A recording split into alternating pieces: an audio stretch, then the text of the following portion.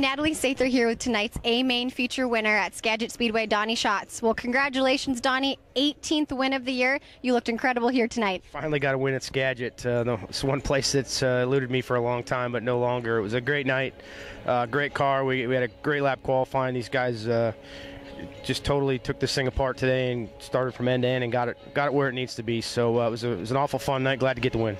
You slid. I was watching. You were running third, and you slid the 29, and then you slid the 51 a lap later, both in the same corner.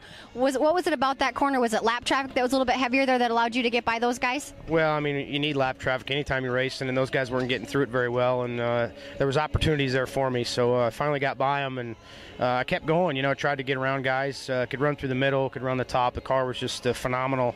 Uh, as more, it got better as the race went on, and that's that's pretty awesome. So hats off to these guys, the STP team. They've definitely earned it.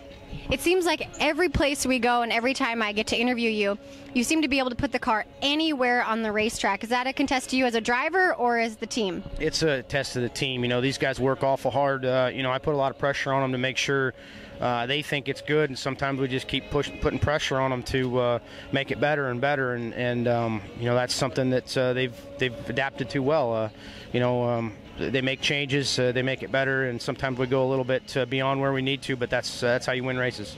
Well, congratulations tonight's A main feature winner here at Skagit Speedway, Donny Schatz. Thanks, Donny. Thanks. I'm Natalie. here tonight, second place finisher, second night in a row for second. Kerry Madsen, you won here last year. You seem to be very consistent when you come to Skagit.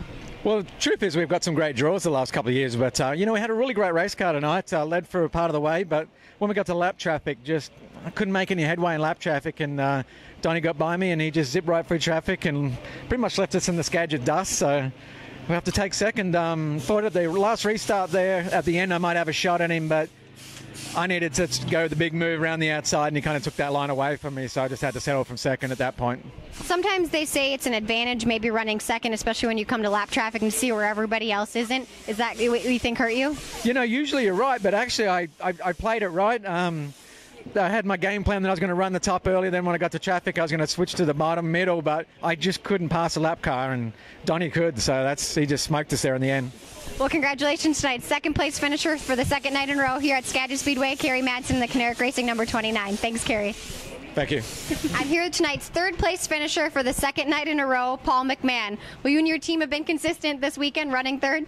Yeah, our car's been good all weekend long. You know, we had a really good car at the beginning of the race and uh, was able to jump right into second, and then uh, uh, just got running around the top there. And, and, Donny showed us the bottom and got got clear of us, and then he, he actually ripped through lap traffic really well. And uh, once I got to back to Kerry, you know, we both knew that we had to be back down the bottom. So we, we battled hard. We banged wheels a few times, but uh, a lot of fun, a lot of a lot of clean racing, a lot of hard racing, and uh, you know, we come home third. So it's not a bad weekend for CJB Motorsports and the whole team. you know, I got to thank Barry Jackson and Pickles and Jonesy for busting their butt day in and day day out while I was out fishing all week this week. And, uh, you know, thank Chad and Jen Clemens for giving me the opportunity to drive their race car.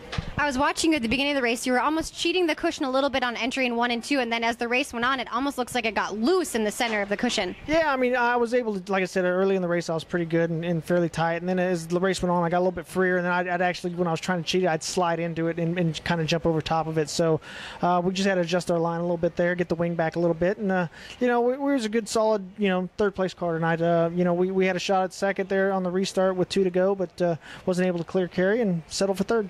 Well, congratulations to tonight's third place finisher, Paul McMahan. Thanks, Paul.